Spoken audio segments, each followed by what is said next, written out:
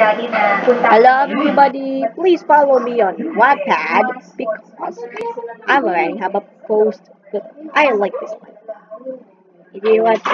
I have one follower only because he likes my reading stories. Okay, please follow me.